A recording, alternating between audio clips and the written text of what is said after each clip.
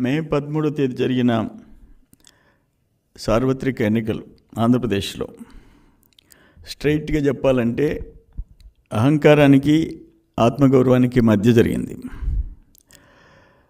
ఈ ఐదేళ్ళు అన్నపూర్ణ లాంటి ఆంధ్రప్రదేశ్ని జగన్మోహన్ రెడ్డి అరాచక ఆంధ్రప్రదేశ్గా చేసేసాడు చట్టాలని ఆయన కాళ్ళ కింద నలిపేసేసాడు ఐఏఎస్ని ఐపీఎస్ని ఆయన కూలీల కింద మార్చేసుకున్నాడు. శాసనసభలో నిండు శాసనసభలో రాష్ట్ర ప్రజలు ఎన్నుకున్న చట్టసభలో శాసనసభ్యులు అందరు కలిసి ఏవైతే బడ్జెట్ సెషన్స్లో నిర్ణయాలు తీసుకుంటారో అలికేషన్స్ చేస్తారో వాటన్నిటినీ చెత్తపుట్ల వేసాడు ఒక చట్ట సభ నిర్ణయాలకి విలువ లేదు. వ్యవస్థలకి విలువ లేదు. ప్రజాస్వామ్యానికే గుడ్డలు పెట్టు.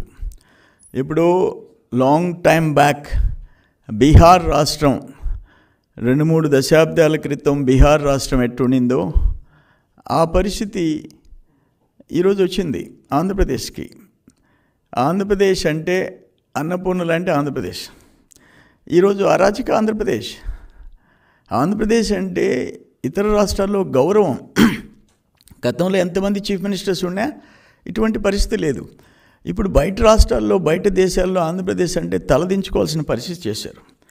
ఇప్పుడు ఇక్కడ ఎందుకు ఎలక్షన్ అయిన తర్వాత ఎందుకు అంత ఫ్రస్ట్రేషన్ మీకు? ఈ దాడులేంటి?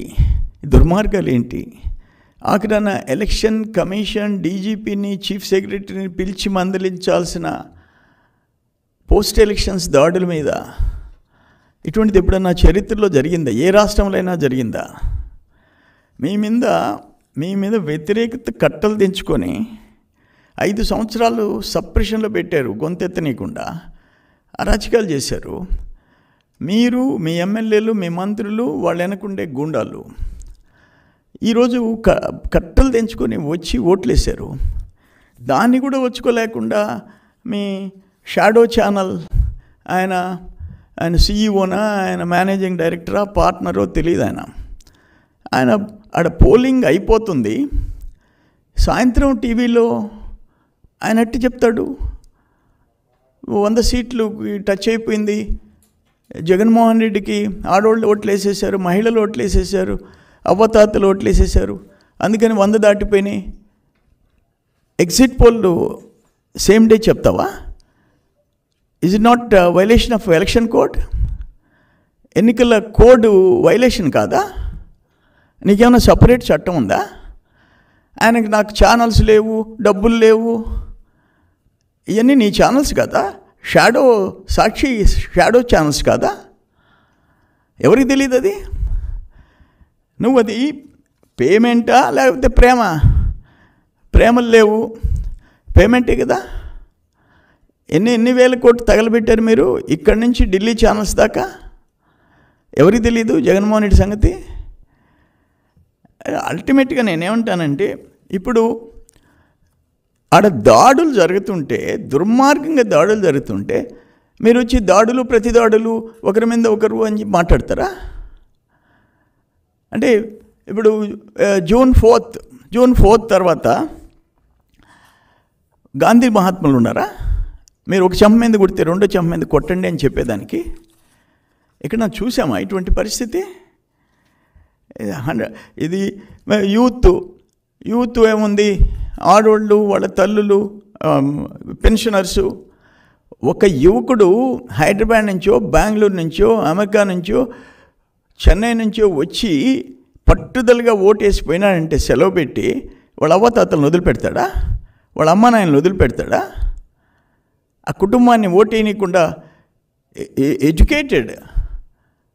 అవేర్నెస్ ఉండేవాడు. రాష్ట్ర భవిష్యత్తు ఎవరి చేతిలో ఉంటే రాష్ట్ర భవిష్యత్తు ఉంటుంది. బిడ్డల భవిష్యత్తు ఉద్యోగాలు ఉపాధి పెట్టుబడులు పరిశ్రమలు ఎవరుంటే ఉంటుంది అనేది వాళ్ళకి తెలుసు. అందుకని అక్కడి నుంచి వచ్చి సింగిల్ ఓటర్ కాదు. వాళ్ళ ఫ్యామిలీ. అందుకని ఇది దురదృష్టకరమైన బాధేస్తుంది. ఇప్పుడు ఓ- ఓ మంత్రులు ఎమ్మెల్యేలు దగ్గరుండి దాడులు చేస్తుంటే ఏం చేయాలా? ఇప్పుడు ఎగ్జాంపుల్ ఒక ఒకటి వినిపిస్తా మీకు. ఆయన గ్రేట్ అగ్రికల్చర్ మినిస్టర్. పాపం కొంతమంది తెలిసి తెలియక ఎగిరెగిరి పడుతున్నారు. ఇరవై రోజుల తర్వాత మిమ్మల్ని దేవుడు కూడా కాపాడలేడనేటువంటి విషయాన్ని మంచిగా ఉంటే మంచిగా ఉంటే ఎంత మంచిగా ఉంటానో మీరు ఒకవేళ ఎవరన్నా ముచ్చట పడుతున్నారేమో.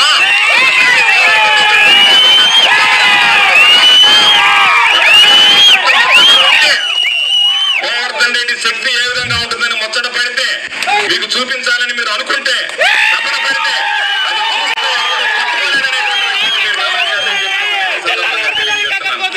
మంచికి ఎంత మంచిగా ఉంటానో చెడు తిరిగితే నేను ఏడడం మొదలు పెడితే నేను ఏడడం మొదలు పెడితే ఈ గ్రామంలో కూడా ఉండకుండా వెళ్ళిపోయినటువంటి పరిస్థితి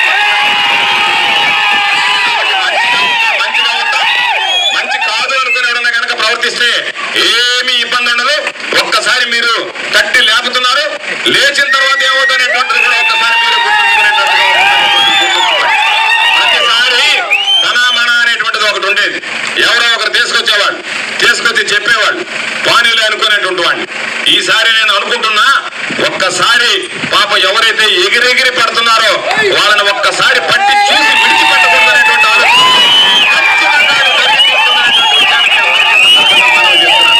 మీ అందరికీ నేను చెప్పేది ఈరోజు ఈ ప్రాంతాలకు సంబంధించి సంబంధం లేనటువంటి వాడు.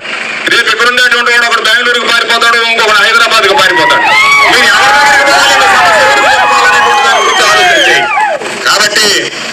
మిర్రి పడ్డం అనేటువంటిది పెద్ద పని కాదు నాయన. కాస్త నేల విడిచి సాము చేయకుండా నేల మీద ఉండి సాము చేయడం అలవాటు చేసుకోండి. ఆయన ఇచ్చిన వార్నింగ్ ఇరవై రోజుల తర్వాత తెలుగుదేశం వాళ్ళు ఎవరు స్థానికంగా ఉండలేరంట బతకలేరంట. ఏంటిది? డెమోక్రసీ సచ్చిందా? ఆంధ్రప్రదేశ్లో ఏమనుకుంటున్నారు మీరు? అన్ఫార్చునేట్ అన్ఫార్చునేట్ ఈ విషయంలో నేనేమంటాను? రేపు మా గవర్నమెంట్ వస్తుంది. No doubt.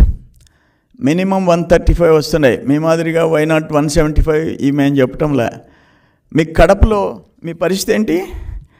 కడపలో కనుమరుగయ్యే పరిస్థితి వచ్చింది. నేనేం చెప్పాడు? జగన్మోహన్ రెడ్డి కడప సిటీలో మా అంజాద్ భాష తప్పులుంటే మన్నించండి నన్ను చూసి ఓటేయండి అని చెప్పుకోవాల్సి వచ్చింది ఒక డిప్యూటీ సీఎం కాన్స్టిట్యున్సీలో. మీ చెల్లిళ్ళు మీ చెల్లిళ్ళు ఇద్దరు చెల్లిళ్ళు మీ తల్లి. నీకు వ్యతిరేకంగా మీ తల్లి ఆశీర్వదించింది నీకు వ్యతిరేకంగా నీ పార్టీకి వ్యతిరేకంగా. ఇంకా అంతకంటే ఇంకేం కావాలా? కానీ కడపలో నీ సంగతి చూసుకో. మిగతా పడలే. కడప పార్లమెంట్లో మాకు మెజారిటీ సీట్లు వస్తున్నాయి. కడప పార్లమెంట్లో నెల్లూరు జిల్లాలో చెప్తుండా ఉమ్మడి నెల్లూరు జిల్లాలో పదిలో పదికి పది వస్తుండాయి. పదికి పది. ఎక్కడ మీరు గెలిచేది? మీరు దాడులు చేసేది ఇరవై రోజుల తర్వాత మమ్మల్ని ధర్మేసేది ఇంపాసిబుల్ మేము అధికారంకి వస్తున్నాం. మేము వచ్చి మిమ్మల్ని మీద మీ మీద దాడులు చేసేదానికి కాదు రాష్ట్రాన్ని బతికించేదానికి రాష్ట్రాన్ని గాడిలో పెట్టేదానికి ఈ దుర్మార్గుల నుంచి కాపాడేదానికి మేము మేము కూడా ఫార్టీ ఇయర్స్ నుంచి రాజకీయాలు చూస్తున్నాం. కాంగ్రెస్లో చూసాము తెలుగుదేశం చూసాము ఏంటి ఇది దుర్మార్గం ఏంది? మీకు అసలు ఆ మనిషికి ఉండాల్సిన గుణాలు లేవా? నీకు ఇక్కడ హృదయం లేదా? మనుషుల్ని సస్తా ఉంటే నువ్వు హ్యాపీగా ప్యాలెస్లో కూర్చొని ఎంజాయ్ చేస్తున్నావా? మీరు చీఫ్ మినిస్టర్కి ఉండాల్సిన గుణాలు నీకున్నాయా కానీ మా కడుపు మండిపోతుంది. ఇప్పుడు సర్వేపల్లిలో ఎంతమందిని బయట నుంచి గూండాలను తీసుకొచ్చి తరిమి తరిమి కొడతా ఉంటే పోలీసులు వచ్చేసి మేనమేషాలు లెక్క పెట్టుకుంటున్నారు. ప్రతి కాన్స్టిట్యున్సీలో ఎక్కడ ప్రశాంతంగా ఉంది వాతావరణం? కానీ ఫైనల్గా నేను చెప్పేది ఏంటంటే కంట్రోల్లో ఉండండి. ఇంకో పదిహేడు రోజులు ఉంది కౌంటింగ్. ఒళ్ళు దగ్గర పెట్టుకొని ఉండండి. ఒళ్ళు దగ్గర పెట్టుకోండి ఎమ్మెల్యేలు మంత్రులు అందరికీ చెప్తుండా. తమాషాలు కాదు. మేము మడిగట్టుకొని ఈ చెంప మీద కొడితే ఈ చెంప మీద కొట్టే దాన్ని కొట్టమని దానికి మేము గాంధీ మహాత్ములు కాదు. డెమోక్రటిక్ సిస్టంలో ఎలక్షన్స్ జరుగుతాయి. గెలుస్తాం ఓడతాం ప్రతిపక్షం అధికార పక్షం అంత మాత్రాన కొమ్ములు వస్తాయా మీకు? నువ్వు సర్వనాశనం చేసావు ఒక్క శాఖని బతికిలా ఒక్క శాఖని బతికిలా. అనుభవిస్తావు. రైతులు రైతుల దగ్గర నుంచి ఇరిగేషన్ సిస్టమ్ దగ్గర నుంచి మైనింగ్ దగ్గర నుంచి ఏది ఏ శాఖ బతికిందో చెప్పు. రోడ్స్ అండ్ బిల్డింగ్స్ దగ్గర నుంచి. నీకు ఎందుకు వేయాలి ఓట్లు? ఎవరు వేయాలి ఓట్లు? కొన్ని జిల్లాల్లో ఎత్తుక్కోవాలి నువ్వు సీటు. నెల్లూరు లాంటి జిల్లాలో సీటు ఎత్తుక్కోవాలా? మంచి గుణపాఠం నీకు చెప్తున్నారు అనుభవించి తీరుతారు. ఇది ఇది నేను చెప్పినట్టు అహంకారానికి ఆత్మగౌరవానికి మధ్య అహంకారానికి ఆత్మగౌరవానికి మధ్య ఎన్నికలు జరుగుతున్నాయి ఐదేళ్ళు నొక్కి పెట్టావు. ఎలక్షన్ కోడ్ వచ్చిందాక నీ సర్వేలు నీకు అనుకూలంగా వచ్చినాయి. ఎలక్షన్ కోడ్ వచ్చిన తర్వాత సర్వేలు అసలైన సర్వేలు బయట వచ్చినాయి. నీ సాక్షి సర్వేలు కాదు. నీ టీవీ నైన్ సర్వేలు కాదు. ఒక ఒక రకంగా ఆంధ్రప్రదేశ్ ప్రజలు ఓటు వేసేదానికోసం వెయిట్ చేశారు. ఫస్ట్ ఫేజ్లో రాలేదని బాధపడ్డారు. ఇది మాత్రం నేను సీరియస్గా చెప్తుండా ఇప్పటికైనా మంత్రులు ఎమ్మెల్యేలు కంట్రోల్ కాండి. లేకపోతే అనిపిస్తారు. డెఫినెట్గా అనిపిస్తారు. జూన్ ఫోర్త్ తర్వాత.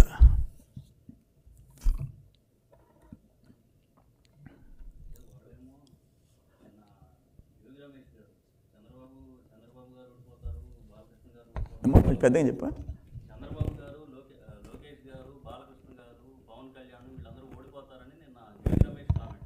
Please subscribe Pragna Media. Please like, share, subscribe to Pragya Media. Pragya Media, please do like, share, and subscribe. Please subscribe to Pragna Media. Please like, share, and comment if you like the video. Pragna Media.